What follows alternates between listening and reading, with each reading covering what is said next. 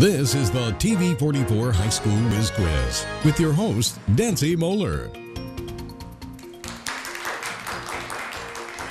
Everyone, and welcome to TV44's High School Whiz Quiz. This is the fall edition of 2019, and we're, we're so happy that you can join us. I know a lot of you play along at home, and we have 16 high schools represented in this season, and you're going to see four of them tonight. You're going to see Elida take on Defiance, and a little bit later, Van Wert will face off against Celina. We're going to introduce you to our players right now. Joining you from Elida, we have Ethan Bowersock, Molly Wright, Cody Crates, and John Free. Elida is coached by Shelby Klutz. Welcome to all of you to start off our season. All right, turning now to Defiance, Connor Black, Xavier Payne, Anna Monty, and Lydia Fernandez. Defiance is coached by James Kerr. Welcome to all of you as well. All right, teams. Our first round, 10 questions. There were 10 points apiece. Get those buzzers ready and ring those in. And when you ring in with your answers, please speak up as loudly as you can. Speak as clearly as possible, and we will have a good time. All right, here we go. Question number one. Give the full name of the organization known as the NC, yes, that would be Defiance. National Collegiate Athletic Association.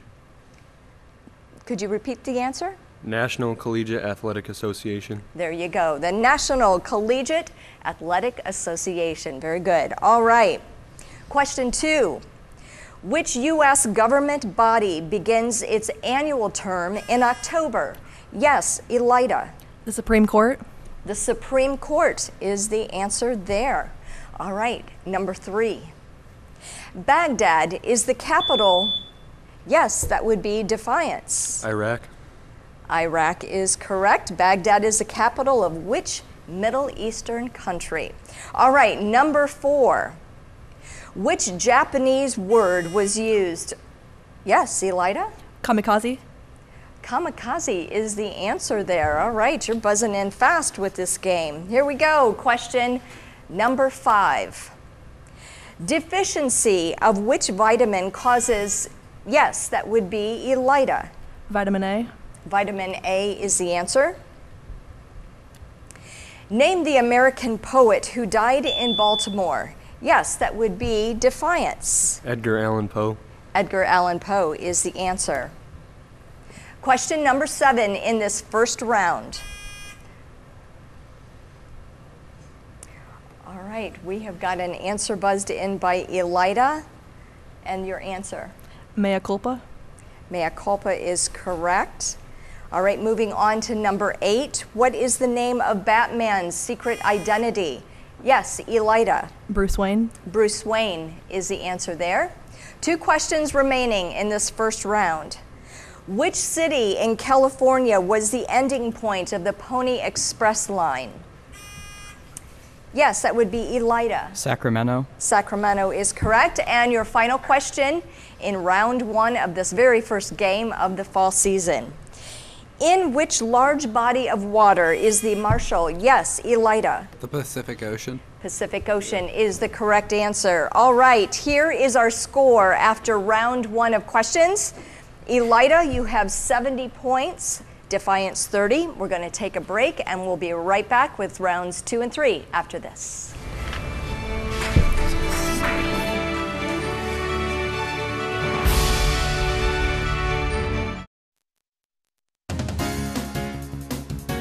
Tonight's Whiz Quiz contests are brought to you by Kewpie Hamburgers, the taste of Lima since 1928.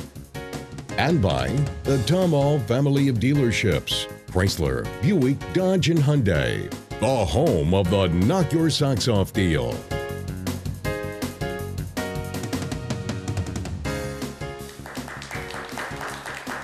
All right, we are heading into round two of this first game of our fall season, and right now we have Elida and Defiance taking on each other, and Elida leading with 70 points, Defiance with 30. That means, Elida, you're going to be leading this round. You have five questions worth five points apiece. They are all yours, but we still ask that you buzz in, okay? And um, everybody set? Okay, question number one. In which city is the Picasso Museum located? Isn't it Madrid? Yes, Madrid? Madrid is incorrect. The answer is Paris, France. All right, question two. If a square yard of fabric costs 90 cents, how much will a square foot cost? Yes, 10 cents. 10 cents is the correct answer. Question three. According to the proverb, what is it that makes the world go round? Yes, Elida. Money? Money is incorrect. The answer is love. All right, two questions remaining in this second round for you. St. Patrick's Day on March 17th commemorates the patron saint of which country? Yes, Elida. Ireland. Ireland is the answer there. And your final question in round two. Which president was assassinated by a disappointed office seeker in 1881? Yes, Elida. Garfield? Could you? James A. Garfield? James Garfield is the correct answer there. All right. We have a score now. Elida with 85 points, Defiance with 30. Defiance, these are your questions. Five points apiece, all yours. Please buzz in. What is Australia's capital? Yes, Canberra. Canberra is the answer. Which word means a person who loves and supports his or her? Yes, that would be defiance. Patriot. Patriot is the answer. What word designates the boneless, arm like structures extending from the head of the octopus? Yes, defiance. Tentacles. Tentacles is correct. All right, two questions remaining here in the second round. Identify the Girl Scout motto.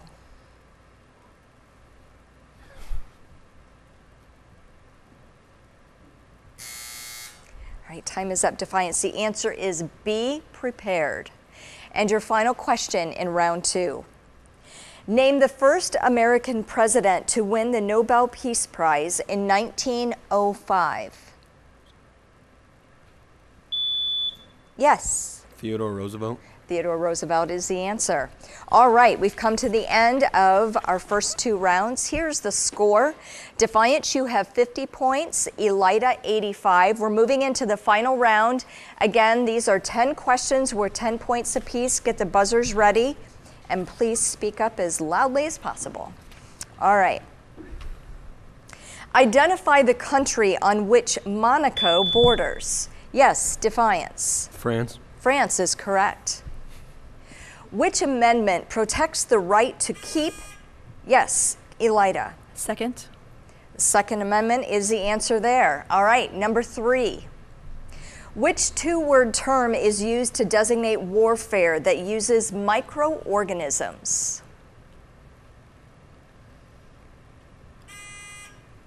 Yes, Elida. Biological warfare? Biological warfare is the answer. Question four Name the journalist whose will in 1912 established annual awards for U.S. achievements in journalism. Yes, Elida. Pulitzer. You said Pulitzer? Yes. That is correct. All right, question five. What term beginning with the letter N designates a substance or ingredient that promotes growth, provides energy? Yes, Elida. A nutrient? Nutrient is the answer. All right, question six in this final round.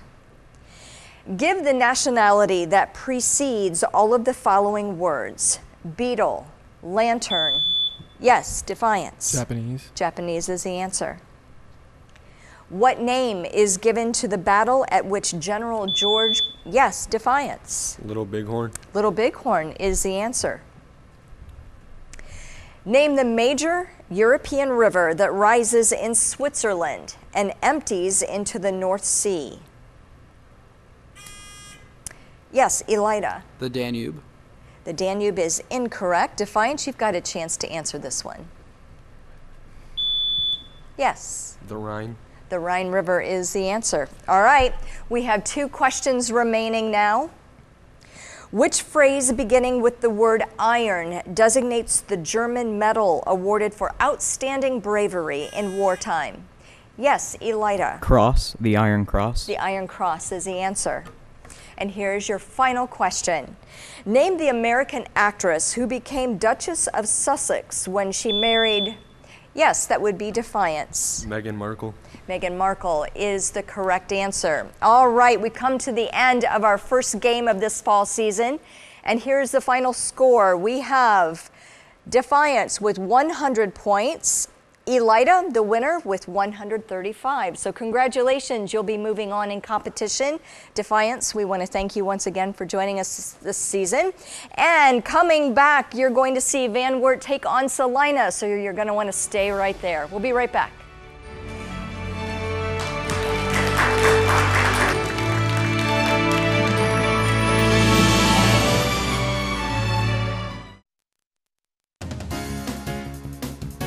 Tonight's Whiz Quiz contests are brought to you by Kewpie Hamburgers, the taste of Lima since 1928. And by the Tom Ahl family of dealerships, Chrysler, Buick, Dodge, and Hyundai, the home of the Knock Your Socks Off deal.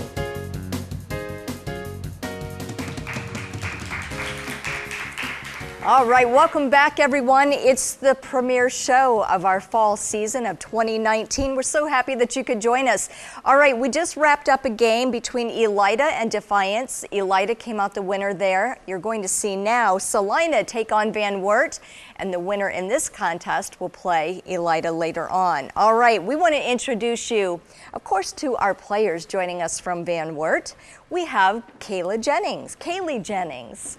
All right, Natalie Schreiber, Cadence Bowen, and William Ogden. And Van Wert is coached by Anita Zuber. Welcome to all of you. All right, turning now to Celina.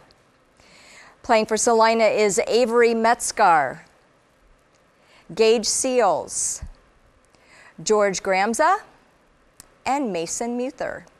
And Celina is coached by Hal Hoover. Welcome to all of you. All right, we have two rounds of questions before we take a break in this game. Our first round, 10 questions, were 10 points apiece. Some of you are new, so I want to remind you and just make sure we know, get those buzzers ready. Please speak up as loudly as you can and be as clear as you can and complete with those answers, okay? We have a lot of people playing with you at home and they want to hear what you have to say. So, question number one in this game. In which country is Lake Baikal the world's deepest lake? Yes, that would be Van Wert. Russia. Russia is the answer. Which writer is known for his book depicting a futuristic society controlled? Yes, that would be Celina. George Orwell. George Orwell is the answer there. Question number three. What famous chapel of the Vatican had its ceiling painted? Yes, that would be Celina. The Sistine Chapel. The Sistine Chapel is the correct answer. Question number four. Name the study that involves tracing one's ancestors. Yes, that would be Van Wert. Uh, familyology. All right, that is incorrect. So, Celina, I'm going to complete the question for you, and you have a chance here. Name the study that involves tracing one's ancestors for the purpose of establishing a family tree.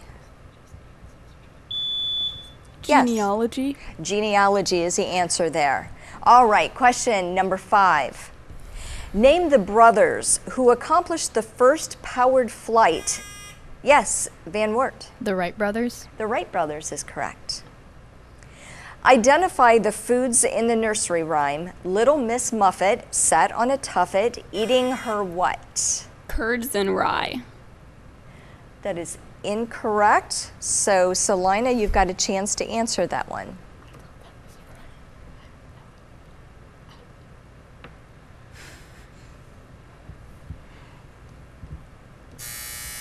You had one of the answers correct. It's curds and whey. All right, number seven. Who is Europe's longest serving monarch? Having been, yes, that would be Van Wert. Queen Elizabeth II. Elizabeth II is the answer. All right, number eight. Which book features the Oompa Loompas as, yes, Celina? Charlie and the Chocolate Factory. That is the correct answer. Charlie and the Chocolate Factory. Which famous cathedral caught fire on April? Yes, that would be Van Wert. Notre Dame Cathedral. Notre Dame is right on April 15th of 2019. And your final question in round one. Which U.S. state traces its roots to the 1867 transfer of ownership from Russia to the United States? Celina. Alaska. Alaska is the answer. Very good. All right, we've come to the end of our first round here in this game between Van Wert and Celina. It's a close one. Van Wert, you have 40 points. Celina, you have 50. That means you're going to be leading this next round of questions. You have five questions. They're all worth five points apiece. They are all yours, but please buzz in with your answer anyway, okay? On which language are languages such as Spanish, French, and Italian based? Yes. Latin. Latin is correct. What P word is another name for a gap through a mountain range?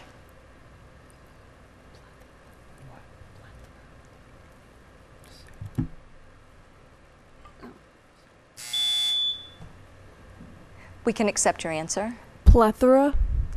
That is incorrect. The answer is pass. All right. Question number three. Give a six letter word for fishing equipment. Yes. Tackle. Tackle is the answer. All right, you have two questions remaining in the second round. Name the Mexican American who began the United Farm Workers.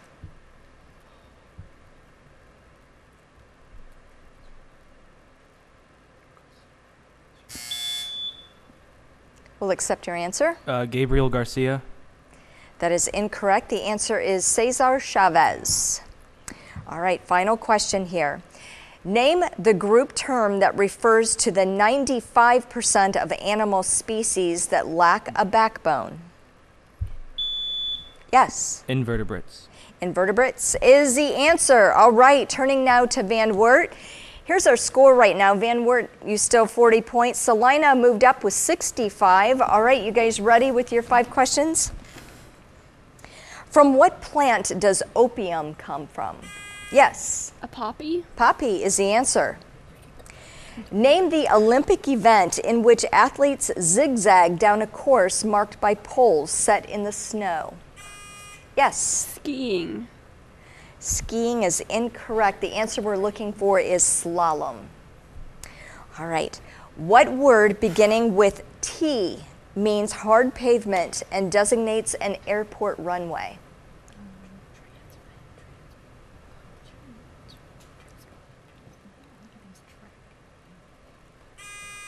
Yes. Track. That is incorrect. Tarmac is the answer there. Okay, you have two questions remaining in this second round. What part of a mile is a furlong?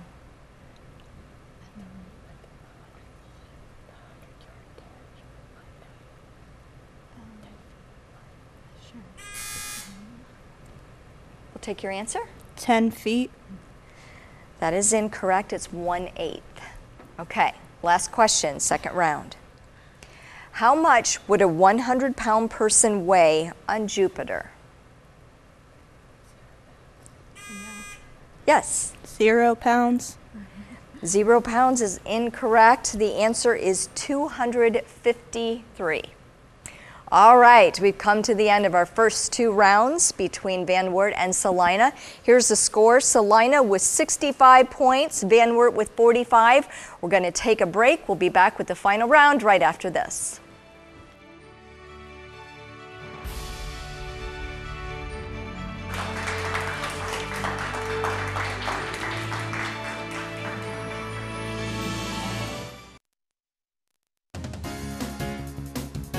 Tonight's Whiz Quiz contests are brought to you by Kewpie Hamburgers, the taste of Lima since 1928. And by the Tom Ahl family of dealerships, Chrysler, Buick, Dodge, and Hyundai, the home of the Knock Your Socks Off deal.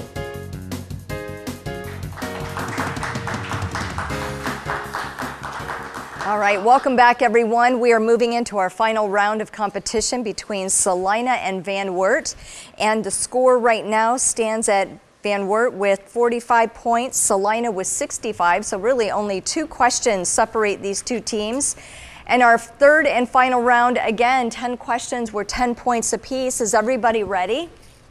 All right, question number one Who wrote the Hunger Games series? Yes, that'd be Van Wert. Suzanne Collins. Suzanne Collins is correct. Question number two.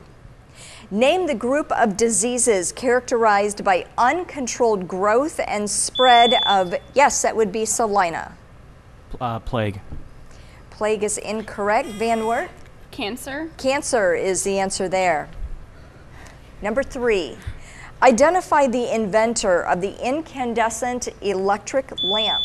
Yes, Celina. Uh, Edison. Thomas Edison. There you go. Thomas Edison is the answer.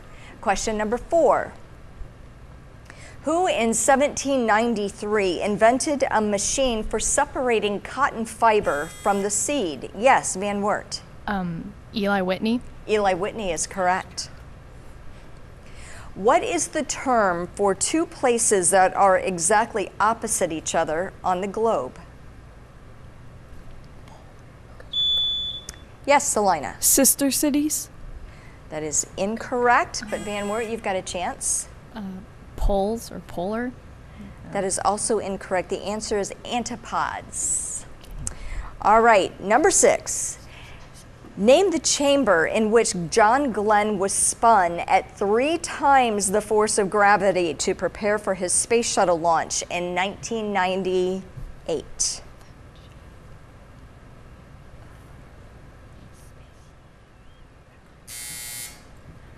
All right, time's up, teams. The answer is centrifuge. All right, we have four questions remaining in your game, and it is tied right now. Name the doll company that believes in creating girls of strong character. Yes, Van Wert. American Girl. American Girl is the answer. This word is the use of any combination of materials, coloration, or illumination for concealment. Celina. Camouflage. Camouflage is the answer. Okay, we have two questions remaining in this round. Who is the only U.S. president to have served four terms? Yes, Van Wert. FDR. Franklin D. Roosevelt. Franklin Delano Roosevelt. We'll take that. Very good. All right. And our final question of this game Which New England city is the most populated? Yes, Van Wert. Boston, Massachusetts. Boston is the answer. All right, everybody take a breath. We've come to the end of a tough matchup here between Van Wert and Celina. And here is our score. Celina, 85 points. Van Wert, you're the winners with 105. Congratulations. You'll be moving on in competition. Celina, as always, we're glad that you joined us this season. All right, we want to thank you at home for watching. We'll see you back here next week. Bye-bye, everyone.